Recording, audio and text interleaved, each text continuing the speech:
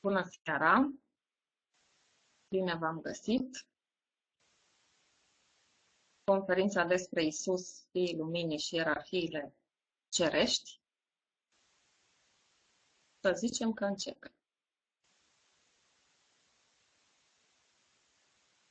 În primul rând, la mulți ani floricilor și florentinilor și tuturor celor care se numesc în nume de flori. Doamne ajută!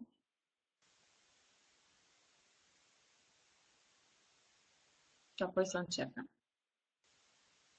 Despre Isus. Eu zic așa că ar fi util să începem cu începutul. Cine este Isus? Cine a fost și cine este Isus? Isus omul și Isus spiritul spiritual. Isus omul, cam toată lumea știe cine a fost. Dar, toate că știm așa multe despre Isus, sunt și multe lucruri care, um, chiar dacă și acelea se știu, oarecum nu sunt uh, în prim plan și nu toată lumea neapărat a și intrat în contact cu informația, așa că o să o să amintesc și, și aceste aspecte. În fapt, Isus a făcut parte din uh, casa lui David, regelui David. Pe de o parte. Pe de altă parte, a făcut parte din, uh,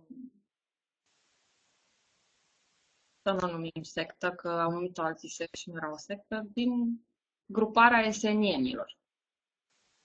Cine erau esenienii aceștia? Erau uh, cei care uh, trăiau în zona Mării Moarte, acolo unde s-au găsit manuscrisele acelea de se tot traduc și nu se mai termină de tradus. Zice s-ar că nu s-au terminat de tradus. Și s-au găsit acele manuscrise în zona respectivă pentru că în zona respectivă locuia această grupare din care făcea parte din punct de vedere ezoteric și Isus și familia lui Isus. Concret, acești esenieni au fost purtătorii la momentul respectiv, au fost purtătorii, o parte din purtătorii, că nu au fost singurii, cunoașterii vechi, cunoașterii antice care provine cel puțin cât mai putem noi avea acces așa istoric, cel puțin din perioada uh, sumeriană. Aș zice, și sunt sigură de asta, dar nu există foarte, foarte multe dovezi scrise, că cunoașterea respectivă aș spune că provine din uh, Atlantida, Lemuria și probabil chiar mai înainte de asta. Dar ne rezumăm la Sumer. Despre Sumer să știe istoric, e oficial, există, au existat sumerienii. Pe aceștia nu îi contestă nimeni în istorie. Cum că ar fi existat în sens. Așa. Și uh, cunoașterea în ce, în, în ce sens cunoaștere? Cunoaștere în sens ezoteric, în sens gnostic. A tot ceea ce este. Cunoașterea creației, cunoașterea Uh, structurilor, ierarhiilor cerești, ierarhiilor angelice, cunoașterea adevărului despre zei, despre îngeri, despre toate aceste entități benevolente și despre cele malvolente care exista până la momentul respectiv. Cum exista, de unde, cine a inventat-o, n-a inventat-o nimeni, a fost transmisă pur și simplu oamenilor. Uh, mai precis, preoților de templu, celor care erau inițiați în astfel de, de cunoaștere de scrieri, de către entități angelice sau entități extraterestre, pe care uh, oamenii la momentul respectiv l-au luat drept zei. Dar uh, nu este limitativă explicația pentru că au fost luați de zei și îngeri și maestri ascensionați și foarte multe categorii și nu se poate face o generalizare. nu putem spune că zeii sumerieni, de exemplu, toți au fost extraterestri sau toți au fost zei sau toți, uh, toți au fost îngeri sau de la caz la caz. Ok. Și deci cunoașterea aceasta a venit din afară. A venit din afară, a fost explicată unor uh, oameni care erau mai dezvoltați, așa, intelect cât de cât mai, de, mai dezvoltat față de medie, față de restul. Și pe aceștia i-au luat și i-au învățat, i-au făcut, așa zis, și preoți de templu. Vorbesc de, deci de Sumer, vorbesc de perioada aceea, în care civilizațiile păreau că sunt la început. De, de fapt, deja fusese un deluviu uh, și se mai prăbușiseră câteva civilizații până la momentul respectiv, dar de fiecare dată când s-a prăbușit o civilizație mare, au venit acești veghetori, acești oaceri, acești zei, acești îngeri și acești na, diverse categorii și au readus cunoașterea. De ce a trebuit să readucă cunoașterea? Păi gândiți-vă că dacă au fost deluvii, da, deci oamenii au murit în, în masă, na, au murit în necațe, să, să vorbim așa pe șleau, că doar nu suntem mai și copii. Și nu neapărat cei care au rămas în viață, au fost și cei mai uh, dotați din punct de vedere al cunoașterii sau intelectual sau cum să, să ne exprimăm elegant. Da? Nu neapărat cei mai deștepți și cei mai știuți dintre ei au supraviețuit. Și atunci, uh, după o perioadă de timp, și chiar foarte repede, nu neapărat doar după o perioadă de timp, sau semisălbăticit așa, pentru că dacă te trezești din confortul casei tale, să cum am fi noi acum, noi așa, ne trezim în epoca de piatră fără nimic și cu apele peste noi, Doamne ferește, nu o să se mai întâmple așa ceva, um, s-ar putea să, să cazi așa într-un fel de anima, animalicitate, într-o fel de stare animalică, da? Pentru că o să fie supraviețuirea celui mai puternic, o să, bă, nici nu vreau să vă portretizez foarte bine cam cum se poate ajunge la stadiu animalic de la un om care pare ca și cum ar fi un om așa inteligent. Nu trebuie mult. Trebuie doar să simtă că pur și simplu i-au dispărut toate reperele, nu mai are nimic decât pielea el și trebuie să lupte pentru supraviețuire. Și atunci începe căderea din toate punctele de vedere. De asta, după fiecare deluviu de ăsta sau catastrofă din asta în care s-a întâmplat să dispară civilizații, au revenit prin întrupare unii, da? Sau unii pur și simplu au venit uh, vimanele, cele care sunt descrise în, de indieni, da, în Ramayana, Mahabharata, Mahabharata, sunt multe, vedele la ei sunt. Ei descriu vimanele. Vimanele erau nave extraterestre, că este foarte evident din ce scriu ei acolo. Deci au venit sub formă de uh, spirite întrupate pe alte planete, spirite întrupate care pot fi îngeri întrupați, puteau fi mai și ascensionați întrupați în altă parte și nu pe pământ. Și au venit aici, uite așa, prin, prin modalitatea întrupată, sau s-au întrupat direct aici, sau pur și simplu au scăzut vibrația și au apărut direct așa cum mai uh, găsiți în Biblie de multe ori și în multe scrieri din astea, că a apărut uh, din senin un înger și a spus ceva și a fost văzut. Uite, cam așa apăreau. De ce nu mai apar și la noi acum să-i vedem așa? Ba, apar, dar foarte rar, foarte rar, pentru că uh, am să vă rog întrebările, nu pot să mă întrerup să vă răspund, mi-e drag să puneți întrebări, dar vă spun eu ce am de spus și la sfârșit o să vorbim și să vă răspund și la întrebări, da? Așa, ca să nu-mi întrerup și rulogii și să Uh, fie cursivă discuția. Ok, dacă nu s-a specificat faptul că nu puteți vorbi și nu se înțelege de la sine, o să-l Ștergem pur și simplu. Așa. Um, ok. Deci asta este o conferință online, nu este o discuție online, nu este un workshop. Da? Vă mulțumesc pentru înțelegere. Ok.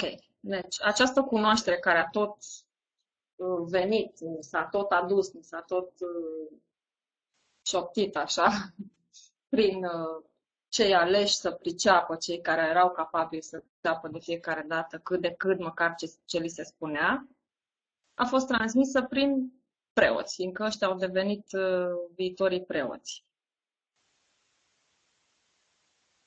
Da.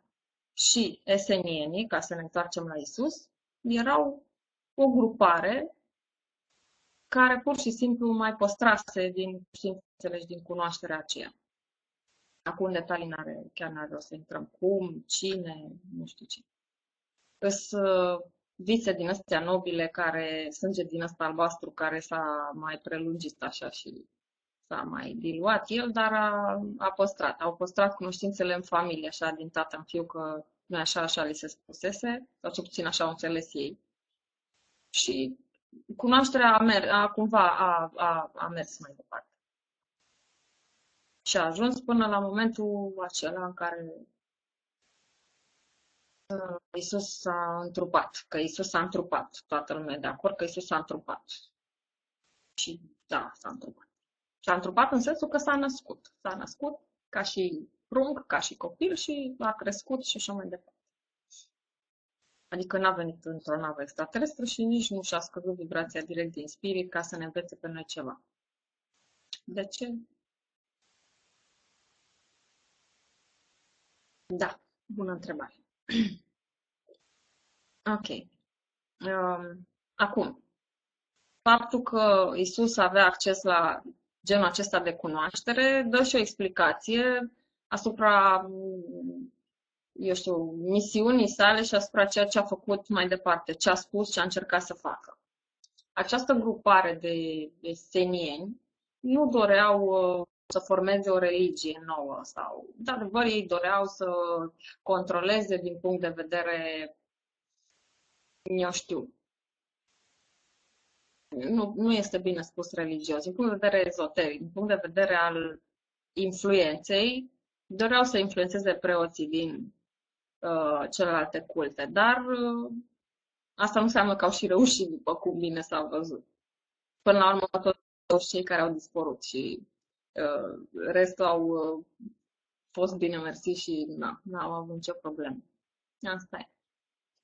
Uh, e adevărat că Isus a mers și din cauza că a fost trimis de acești oameni, acești oameni care cunoaștere, erau bătrâni, erau, știau, și mai aduceau aminte de unde au venit, fiindcă ei au, au mers pe, pe, din Egipt, veneau. Deci ei, esenienii, de fapt, proveneau din Egipt. Au mers, au ajuns până în uh, Iudea, da?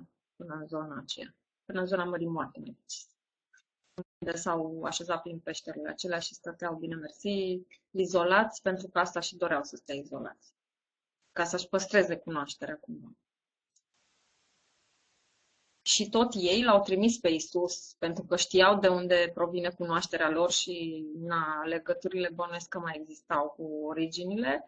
L-au trimis în perioada aceea în care nu se știe nimic despre Isus și uh, l-au trimis în Egipt și a învățat. A învățat destul de multe și în India. A fost în Egipt și în India. Și există mărturii și există uh, Um, dovezi ale faptului că, incontestabile ale faptului că Isus a fost în Iria și a fost în Egipt. În temple, a fost, a învățat, a studiat, el uh, a fost un avatar, dar uh, nu a fost genul de avatar care a știut uh, absolut tot, s-a, s-a născut trezit, complet. Asta știm din, din ce se spune în Biblie și din ce mai citim și scrieri gnostice și este evident că el avea un acces extraordinar de mare, dar nu toate îi se arătaseră de la început. A trebuit și el să studieze și să-și aducă aminte și să îi se spună și să-și acceseze niște capacități prin niște metode uh, pe care au fost predate acolo unde a mers și unde a învățat. Bine, și esenii nu mai știau, dar uh, a trecut prin niște inițieri, a trecut printr-un tip de inițiere mai special și din cauza aceasta a fost nevoie să meargă pe Egipt și pe India. Așa. Um, Maria, Maica, mama lui Isus, pe filiația, de fapt și pe filiația mamei și pe filiația tatălui, cumva, dar uh, faptul că el făcea parte din casa lui David și a fi fost moștenitor de drept să conducă, aceasta i-a dus moartea mai rapid decât orice altceva, deși el nu dorea să ia locul nimănui și nu avea niciun fel de veleități de genul ăsta. Uh, cu toate astea, uh, a fost omorât mai puțin pentru ceea ce a făcut uh, prin faptul că vorbea oamenilor și mai deschidea mintea unui altul, mai făcea eu știu ce vindecări sau ce făcea pe acolo. Asta nu era chiar atât de deranjant, cât uh, era deranjantă filiația lui, era deranjantă sângele lui și faptul că era iubit de oameni și devenea din ce în ce mai popular, el călătorea, avea, devenea din ce în ce mai cunoscut. Vă dați seama dacă ar fi avut internet, cred că nici nu mai apucat 33 de ani. Ca să mai și glumim un pic. Așa. Uh.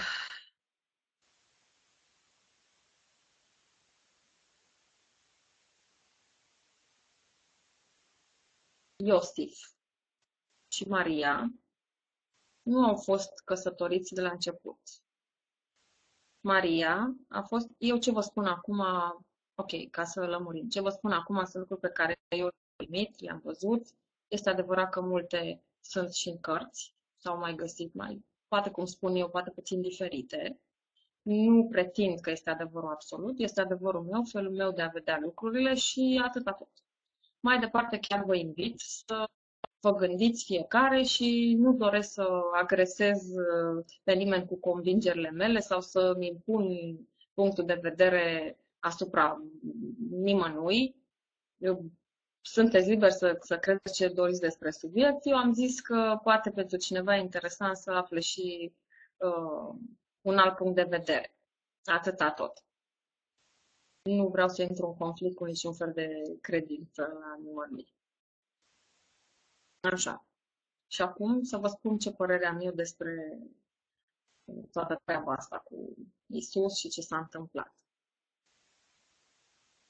Uh, Iosif a fost însurat cu o, o soră a Mariei, inițial. Uh, mai precis, ca să vorbim așa, a fost însurat, deși altceva se spune în istorie, a fost însurat cu mama Salomei, inițial. Îți două ca să ne lămurim. Și o să vă vorbesc și despre Salomea care n-a dansat ca să obțină capul lui Ioan Botezătorul, și cu totul altceva s-a întâmplat acolo. Dar um, ăștia sunt lucruri care așa s-au spus, că așa au dorit să, să fie spuse.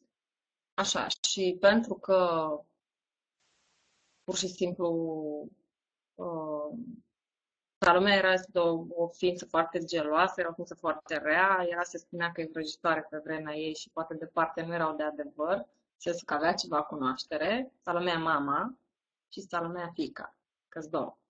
Um, cum ne, cum l-au alungat.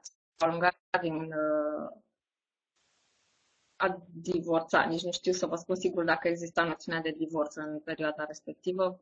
Era, nu era, presupun că cumva, cumva s-a întâmplat din punct de vedere legal și uh, a plecat cu Maria. Pentru că asta a fost gelozia, cum că i-ar fi uh, fost împreună. Nici într-un caz nu erau împreună la momentul respectiv. Maria a fost crescută într-un templu.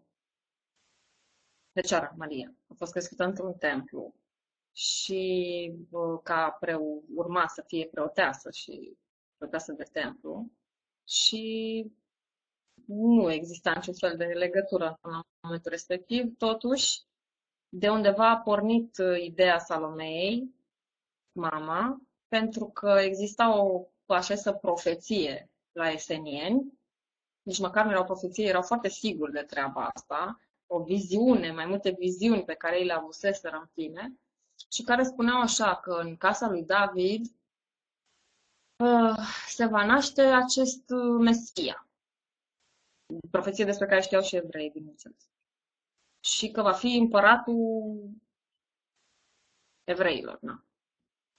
Și dar că trebuie să se nască, dar trebuie ca să se nască acel copil, trebuie să fie din același sânge, trebuie să fie din, cum ar veni, din aceeași familie. Asta la noi înseamnă incest în zilele noastre sau ceva, în orice caz, în neregulă. Dar vă atrag atenția că, cel puțin de pe vremea sumerienilor, istorie care este recunoscută și se știe, uh, s-au găsit nenumărate inscripții și Zecheria Sitkin, de exemplu, dacă și mai mulți au tradus uh, la fel plăcuțele respective, mi-a dat doar un exemplu uh, de, despre Zecheria Sitkin, care spune așa că zeii, sau cum vedeau ei pozei, aveau obiceiul să își ia neveste surori vitrege, deci jumate surori. Uh, pentru că doar copiii rezultați din astfel de uniuni erau uh, acceptați ca prim copii la moștenire, la urma, care urmau să conducă pământul și ce aveau ei acolo. Știți că zei aveau orașe, fiecare avea orașul lui și orașe în care ei erau zei și așa mai departe. Asta este o chestie diferită, pentru că ei nu au venit să fie zei, dar până la urmă au ajuns să fie zei. Și ca să scoată semi-animalele alea din starea în care erau, au zis, bine, ok, suntem zei. Și de asta au profitat alții care au, cărora le-a convenit foarte tare să fie zei și uite așa nu s-a mai știut care e zeu bun și care e zeu rău până la urmă. Așa. Ok, și tradiția asta s-a păstrat foarte mult timp. Deci tradiția asta, pentru că oamenii au observat treaba asta și au înțeles ei că ăia erau frate cu soră vitregă și așa, au înțeles că, domne, așa se păstrează sângele curat, așa se păstrează. Și au, până și în ziua de astăzi aproape, casele regale, hai că asta știți din istorie, încercau să, să-și păstreze sângele cât mai curat și făceau căsătorii numai cu alt sânge albastru în altă casă, în fine, încercau cu toate puterile să nu se combine cu sânge impur din cauza asta. Tradiția de acolo venea cumva. Și ne aveau uh, această tradiție pe care o știau și considerau că pentru a se naște acest copil special, Uh, trebuie să se nască dintr-un asemenea cuplu de sânge regal și cât mai înrudiți. Ori Maria cu Iosif erau foarte înrudiți. Așa. Și uh, acum, să nu înțelegeți că ei n-aveau nimic, uh, cum să spun, s-au trezit și ei că i-au pus estenienii să facă un copil sau, doamne ferește, nu asta vreau să spun dar ca idee a coincis foarte bine peste ceea ce oricum se întâmpla uh, această profeție. Deci Salome a avut cunoașterea suficientă încât să știe despre această profeție, i s-a fi părut ce i s-a fi părut, a făcut uh, niște și anume crize de nervi și um, s-a scăpat de cei doi, s-a scăpat de cei doi din, din, din zonă. Așa. Și Până la urmă, culmea este că probabil asta i-a împins și mai tare, ei fiind uh, paria de acum amândoi, cumva, asta presupun că i-a împins mai tare unul spre celălalt. Așa, și au făcut, într-adevăr. Fecioara Maria, că îi se spune Fecioara Maria, pentru că ea a fost uh, pută în templu și era fecioară, cu adevărat, era fecioară. Este, erau condiții asta absolută. Ele erau crescute de pe la patru ani, cam așa, în templu. Și bineînțeles învățau tot felul de, de lucruri interesante de acolo. așa. Și um, nu știu, nu mă apropii, nu vreau să mă apropii foarte tare de subiectul uh, uh, cum a rămas gravidă Maria, că Maria, că a venit cu un înger, că în fine, că nu, nu mă vreau să mă apropii, fiindcă sunt foarte multe programe pe chestia asta și eu nu consider că a fi foarte, foarte important. Acum, că a rămas gravidă fără niciun fel de, de contact, că a rămas gravidă așa, că așa e mai puțin important. Este foarte important și foarte adevărat că a născut un avatar. Și un avatar ca Isus nu se naște într-adevăr din orice fel de nimeni. Nu de alta, dar are nevoie de niște gene, are nevoie de niște gene spirituale pentru a putea veni și pentru a putea fi susținut de mama respectivă în pântec până naște. Asta este adevărat și, și logic, dacă stați să vă gândiți. Vibrația fetusului respectiv este foarte mare, ori nu e, devine absolut incompatibil cu mama dacă nu se poate. La fel și um, uite că nu vreau să, să intrăm într-o, să nu vreau să ne apuce râsul pe aici sau ceva, dar gândiți-vă că uh, presupunând că nu a fost, uh, nu a fost lăsată gravidă de Dumnezeu, de Sfântul Duh și așa, uh, absolut că genele celor doi au fost trebuiau să fie compatibile pentru ca fetusul respectiv să poată să, să, cu adevărat, să se nască. Nu doar să se conceapă, ci să și crească și să se și nască. Așa. Bun. Și atunci Iisus, indiferent cum și indiferent în ce fel a rămas Maria gravidă, uh, cu adevărat a fost și un spirit foarte mare și este o entitate angelică. Că ajungem la cine s-a întrupat acolo, cine a fost acolo, înăuntru carcasei lui Isus, cine a fost, cine a fost acolo. Păi cine a fost acolo? Păi a fost așa. A fost o entitate angelică, care este și acum. Isus este de, ca ierarhie, este ierarhie angelică. Sunt ierarhii spirituale și ierarhii angelice. Ce numesc eu ierarhie spirituală este, mă refer la maestri ascensionați. Da? La spirite, nu numai maestri ascensionați, maestri ascensionați sunt ultimul nivel, ca să zicem așa, nivelul cel mai aproape de perfecțiune. Uh, în rest, sunt toate spiritele și noi și toate spiritele fac parte din uh, ierarhia spirituală. Pentru că nu, cei care nu sunt de natură angelică, fiindcă există și întrupări angelice. Deci uh, nu poți face o generalizare când te gândești să faci o generalizare, găsești o excepție și atunci e foarte greu să vorbești în generalizări. Încercăm așa să facem un tablou cât de cât complet. Deci, îngerii, entitățile angelice, sunt cei care s-au trezit primii, sunt primul val de conștiințe auto, de, de spirite autoconștiente și automat că sunt cei mai vechi. Mai vechi un pic, dar nu foarte, uh, decât îngerii, sunt devașii, care sunt spiritele naturii. Și practic sunt tot îngeri, ca și apariția arată foarte asemănător cu îngerii, din cauza aceasta îi asimilăm. Deci așa în clasificarea asta ierarhii angelice, ierarhii spirituale, la ierarhii angelice fără probleme trece în deva și pentru practic deva și tot un fel de îngeri. Um, ierarhiile spirituale sunt, cum spuneam, cele care sunt pe valul 2, în valul 2 de creație, doar ce spiritele au pur și simplu, asta este o informație, luați-o ca atare, pur și simplu nu știu să vă explic de ce, dar nu numai eu am văzut, am văzut mai mult și sunt și cărți pe tema asta care uh, vă, vă spun ce, ce vă spun și eu, gândiți-vă și voi, poate aveți altă părere. Dar se pare că au existat două valuri în creație, au existat două valuri de creația spiritelor, de, de auto trezire la conștiință a, a spiritelor, în două valuri. De asta unii sunt mai vechi, alții sunt mai, mai tinereiași. Adică asta presupune că spiritele nu sunt, spiritele nu sunt create în permanență, așa, non-stop, non-stop, se creează alte spirite, alte spirite.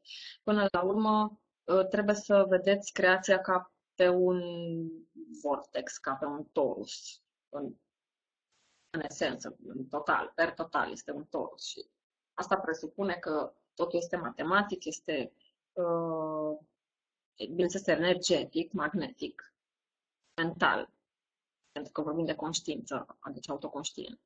Și uh, nu este haotic. Iarăși, este automat că nu este haotic. Dacă nu este la întâmplare haotic, atunci și numărul de spirite dintr-o creație trebuie, că se, trebuie ca să fie într-un echilibru cu proporțiile creației, cu creația însăși. De unde rezultă că nu va fi un număr uh, așa infinit de spirite. Multe vor fi, dar nu un număr uh, infinit. Și de asta nu se creează în continuu. Așa, foarte puține spirite dispar, se resetează și asta doar la cerere. Expres. Și nu sunt de luat în calcul ca număr. Astfel încât să mai poată fi creat încă un spirit în locul celui care s-a resetat în sensul ăsta. Aici intrăm în altceva, ne depărtăm, nu, nu are rost să intrăm. Așa. Și Isus face parte din ierarhiile uh, angelice. Ierarhiile angelice, raiul, dacă vreți, de la creștini, uh, are trei linele, are trei structuri. Este Dumnezeu 1, care este Dumnezeu creației, după care următorii 12 care s-au auto, au, auto, au devenit autoconștienți, pardon, au fost 12 spirite. Asta e primul inel. Primul inel este format din 12 spirite. 12 spirite, 12 primordiali, 12 bătrâni. Totul are octavă, octavă, octavă. Există fiecare planetă are 12 primordial, fiecare structură, știi, totul, știi, totul este așa uh, uh, octavic, totul se repetă octavic. De la cel mai mic nivel la cel mai mare, totul practic este o, o, re, o repetiție a ceea ce a fost anterior. Așa cum poate unii care au făcut muzică înțeleg că și cei care nu au făcut de performanță și cei care doar au făcut la școală, înțeleg că o octavă este formată din șapte, uh, de fapt șase sunete și al șaptelea se repetă. Este do, re, mi, fa, sol, la, si, do. Și după aia începem ea. Do, re, mi, fa, sol, la, si, do, re, mi, fa, sol, la, si, până la infinit și înapoi, eu știu.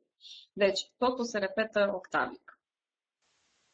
Diferite nivele ale creației, diferite nivele de vibrație, diferite paliere și dimensiuni paralele. Așa. Și uh, Isus face parte din acel prim cerc. Mai sunt încă două cercuri astea, aceste cercuri au mai fost numite. Primul cerc să mai știe, mai este cunoscut sub formă de 12 primordial, cei 12 primordiali ai creației, care au aspecte în primordiali ai primordial ai galaxiilor, primordial ai uh, uh, planetelor, ai, eu știu, sistemelor solare și mai departe. Cum vă spuneam, totul e octavic. Ce înseamnă? Înseamnă că există aspecte ale acestor 12 primordiali la toate, la toate nivelele creației. Asta înseamnă. Ă, și nu că s-au divizat. Acești 12 nu s-au divizat niciodată. Ei pur și simplu au atenție pe toate nivelele. Pot fi prezenți în toate nivelele împreună cu Dumnezeu, unul care este al 13-lea. Apropo de numărul 13 și de așa de templieri, care, al căror număr este 13 cumva. În mod, ă, eu știu, fericit pentru ei câteodată și după aia, de asemenea, și într-un mod fericit. Așa. Următoarele două linele au mai fost numite în toate felurile. Consilii, eu știu, uh, nu, aud așa tot felul de channeling cu nu știu ce, aștar uh, lumina, nu știu cui. Domne, eu nu contest că unii nu sunt channel și așa mai departe, dar prea multe consilii și consiluțe și prea mulți uh, comandori pe acolo, ca să zic așa îs uh, niște ierarhii, dar nu sunt militărești așa cum le pricepem noi. Acolo ei nu sunt șefi, nu e unul șef peste ce, celălalt.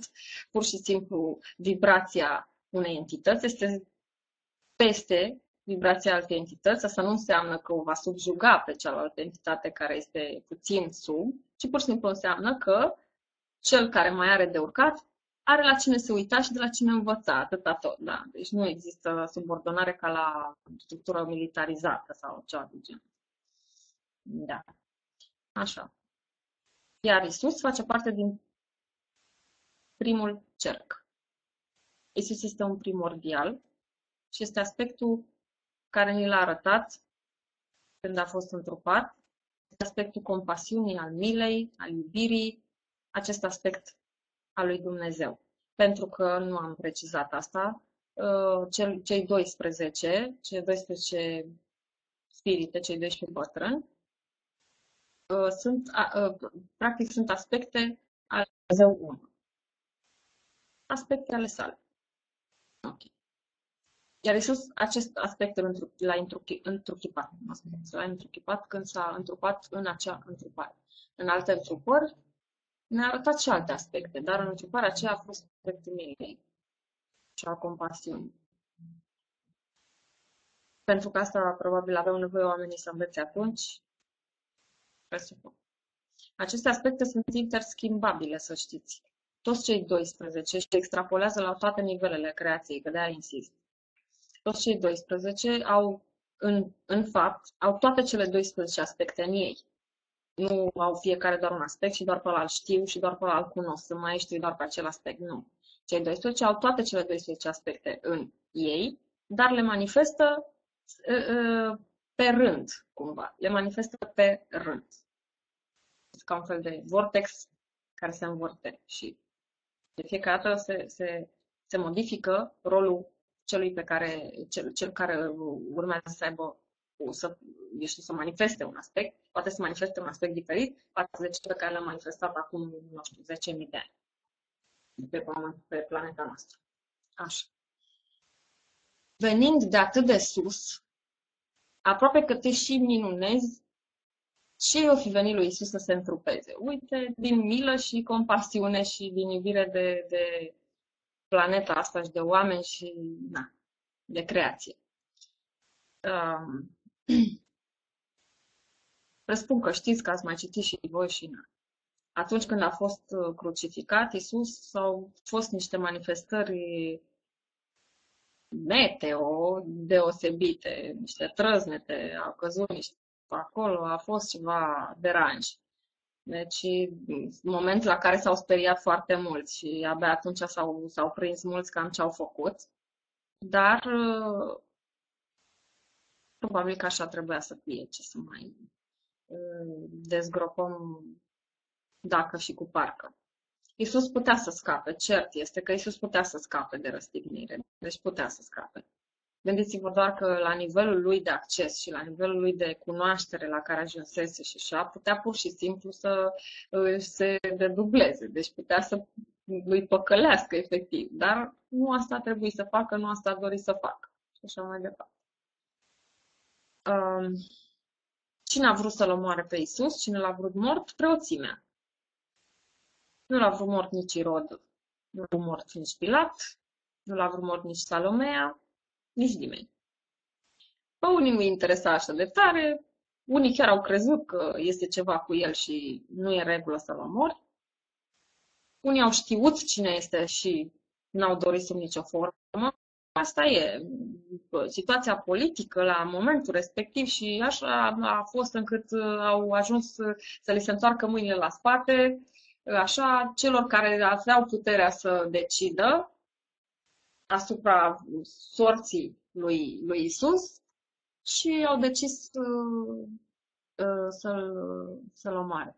Deși aduceți-vă aminte că uh, Pilat s-a spălat pe mâini. Da? Deci Pilat s-a spălat pe mâini. Biserica Ortodoxă, la un moment dat, a avut o tentativă de a-l uh, repune în uh, drepturi pe Pilat, care a știut cine e Isus și n-a vrut să-l omoare, dar n-a avut cine să înțelege. Adevărat că a avut o slăbiciune că putea să nu vrea și gata, dar a fost amenințat că dacă nu acceptă voința clerului, adică aceea de a omorâ pe Isus, uh, va fi perceput ca dușman al Romei, ceva de genul ăsta. Deci că ei vor transmite, că nu face, uh, lasă pe rebelul acesta care uh, face imperiului și, în fine, o prostie de genul ăsta a căzut într-o, într-un șantaj care la momentul respectiv probabil că părea destul de viabil și probabil că fi și fost. Chiar, chiar probabil că se putea întâmpla treaba asta și bineînțeles ce ar fi urmat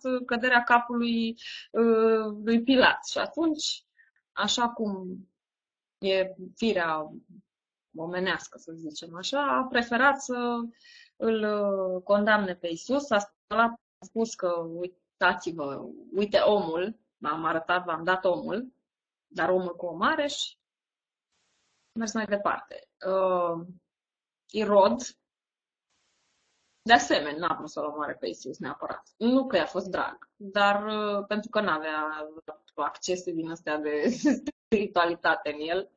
Dar uh, pur și simplu nu prea l interesa, nu i s-a părut foarte important.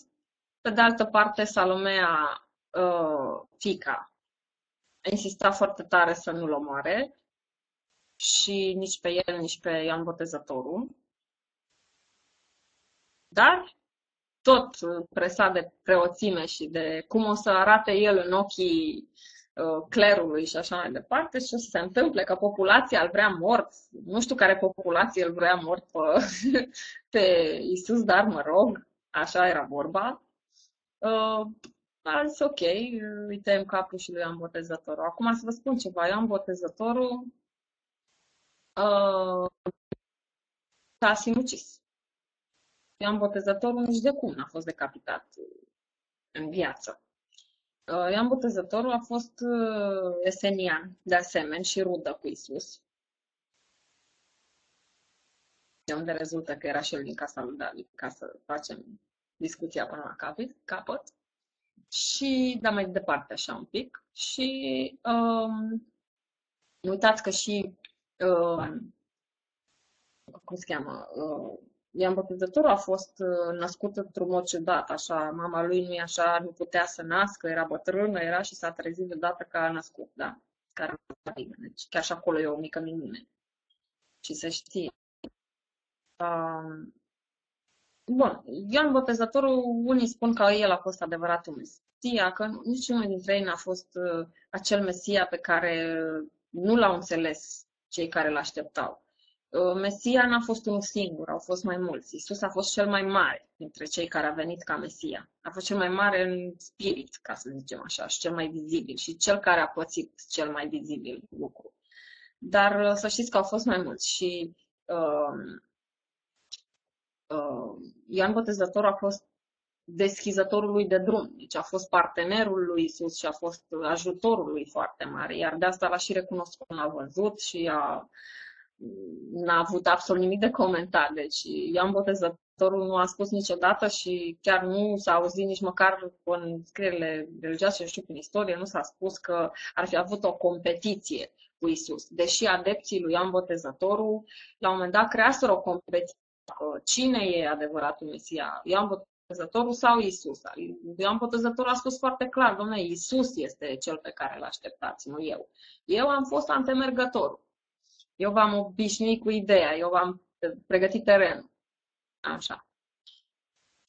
De Senian, uh, aceștia aveau posibil, cunoșteau uh, uh, uh, ierburile, da, cunoșteau cum să-și facă o travă, ce mai la dreapta, la stânga, ca asta vreau să vă spun, s-au otrăvit singur. Avea o fel de sticluț așa cu un lichid, în fine, pe care nu i l-au luat că nu știau despre ce e vorba era și ascuns, că nu era chiar așa, mă ținea în dinți. Și s-a otrăvit singur în uh, închisoare. Și l-au găsit mort. Și acum ce să facă, cum să spună că n-au reușit să-l omoare, l-au decapitat mort fiind, da. Religia a preluat, cum a preluat mai departe informația, dat, dat fiind că creștinii, ceea ce este un adevăr, nu acceptă sinuciderea, în sensul că este un mare păcat și să știți că chiar este, dar nu păcat așa, nu asta e, nu, nu, problema nu e că e păcat, problema este că sinucisul este anticreație, este anticreația. Când ai acceptat anticreația, ai acceptat anti, cum zic ei, anticristul, ai acceptat întunericul. Și atunci te duci la berbeleaca în spirit și te duci 10 poște. Acum, ce a făcut Ioan Botezătorul bun, s-a sinucis. Păi ce facem cu treaba asta că s-a sinucis Ioan Botezătorul? Nu. Este vorba de sinuciderea din, um, din necunoaștere. Uite cum se sinucid, iartă tot felul de oameni care îți disperați că ceva, eu știu, din 3D, ceva neimportant în fond și la urmă și trecător. Important pentru ei pe moment. Dumnezeu să-i nu știu. Nu mă bag în discuția asta. Dar sinuciderea lui Ioan Botezătorul nu a însemnat, și de aceasta știu sigur, nu a însemnat căderea lui în spirit în întuneric. pur și simplu misiunea lui se